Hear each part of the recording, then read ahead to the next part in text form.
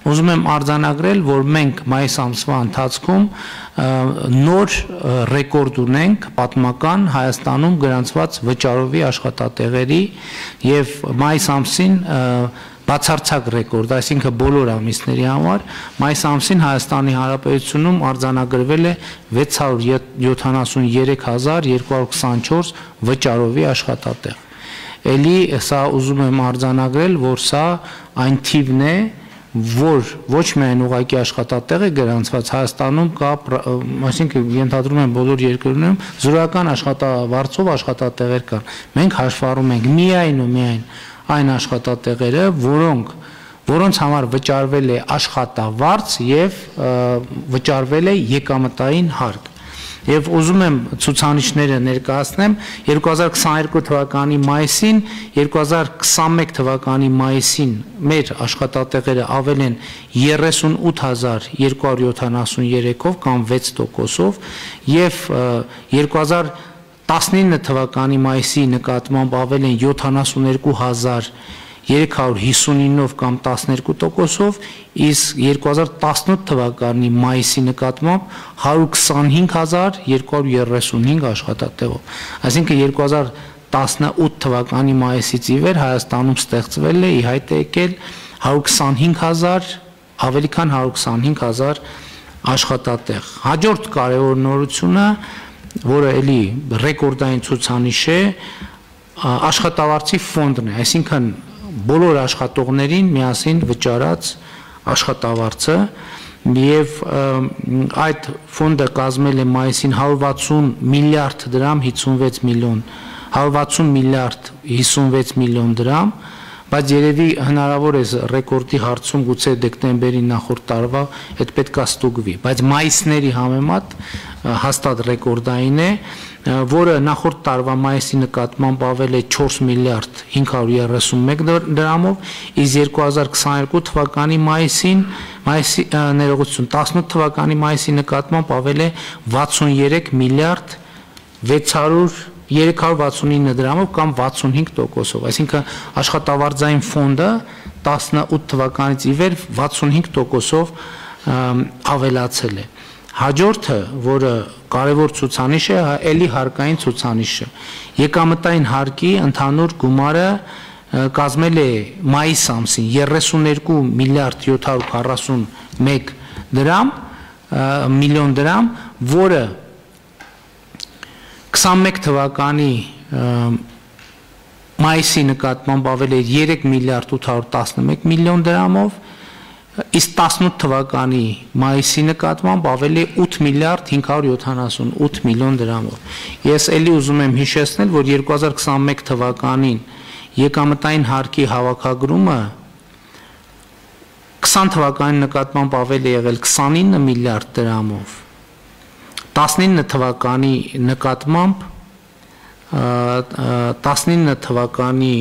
նկատմամբ ավել է եղել 36 միլիարդ դրամով, իսկ 18 թվականի նկատմամբ 97 միլիարդ դրամով, իրականում 124 միլիարդ դրամով, բայց մենք մեր հաշվառման մեջ գիտեք, որ եկամտային հարկի վերադարձի մեխանիզմ ունենք, մենք մեր հաշվառումների մեջ վերադարձը հաշվի չենք առնում։ Եվ Եվ այո, եւ դրույքաչափը ուզում եմ հիշեցնել, որ եկամտային հարկի երա հարկ դրույքաչափից մենք անցում ենք կատարել համահար դրույքաչափի։ Ես ուզում եմ ընդգծել, որ մենք հարկային հավաքագրումների եկամուտների մասին երբ որ խոսում ենք, երբ որ ասում ենք, որ այսքան եկամուտ ա եղել պետական բյուջե, պետք է արձանագրել, որ վերադարձված գումարները այդ թվի մեջ չեն հաշվառվում, որովհետև մենք վերադարձնում ենք ավելացված արժեքի հարկ, ընդ որում ուզում եմ հիշեցնել, որ մենք այլևս բիզնեսին ընդհանրապես պարտք չունենք ավելացված արժեքի հարկի գծով, միջդեռ 2018 թվականին 100 քանի միլիարդ, 126 միլիարդ, եթե չեմ սխալվում, գուցե ավել պարտք ենք ունեցել։ Այսինքն ցանկացած թիվ, որ մենք հրապարակում ենք, դա արդեն վերադարձված գումարները չհաշված։ Չնայած եկամտային հարկի դեպքում այդտեղ մի քիչ վիճակը երկակի է ամեն դեպքում ես ուզում եմ հիշեցնել որ 2021 թվականին մենք 32 միլիարդ դրամ եկամտային հարկ ենք վերադարձրել եւ մոտավորապես 140 միլիարդ դրամի կարգի ավելացված արժեքի հարկ ենք վերադարձրել եւ եկամտային հարկի մասով վերադարձը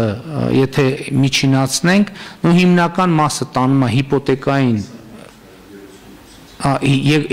հիպոթեկային վարկի այդ մարման համար է տրվում եւ սա նշանակում է որ մենք ուղղակի դա էլ է կարեւոր արձանագրել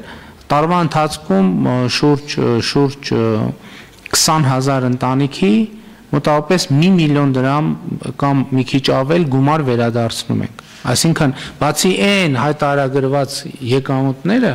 Հայաստանում ավելի քան 20000 ընտանիք տարվա ընթացքում լրացուցիչ 1 միլիոն դրամ եւ ավելի գումար է ստանում պետությունից, կառավարությունից։ Ես ինչի այս վերադարձի հատվածներն ինչ եմ ուզում նշել, որովհետեւ ես լսում եմ տարբեր մեկնաբանություններ, որ կառավարությունը իբր այդ թվերը, որ հայտարարում է, վերադարձի ենթակա գումարներն էլ մեջ նահայտարվում իհարկե դա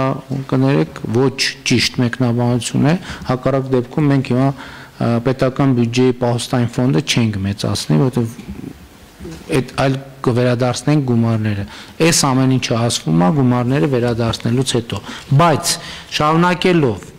ցուցանիշները շատ կարևոր է ոչ միայն համախառն աշխատավարձը, այլև միջին ամսական աշխատավարձը, այսինքն մեկ աշխատողի հաշվով 2022 թվականի մայիսին կազմել է 237 1745 դրամ, որը 2021 թվականի մայիսի նկատմամբ ավել է 25592 դրամով կամ 12%-ով, դա շատ կարևոր ցուցանիշ է հաշվի առնելով գնաճը, այսինքն աշխատող մարդու միջին աշխատավարձը 12%-ով աճել է, 2019 թվի նկատմամբ ավել է 50667 դրամով կամ 27%-ով, իսկ 2018 թվականի մայիսի նկատմամբ ավել է 61306 դրամով կամ 34.7%-ով։ Սրանք կարծում եմ շատ կարևոր ցուցանիշ են, ցուցանիշներ են եւ պետք է հույս ունենալ, որ աշխատատեղերի աճը, այսպիսի տեմպը մենք կկարողանանք պահպանել դրա համար կան նախադրյալներ, մնում է, որ մենք մենք հետևական լինենք մեր ծրագրերի իրականացման գործում եւ ավելի որակյալ դարձնենք դրան։ Այսքանը սպասում ենք նոր նախագծերի, նոր ծրագրերի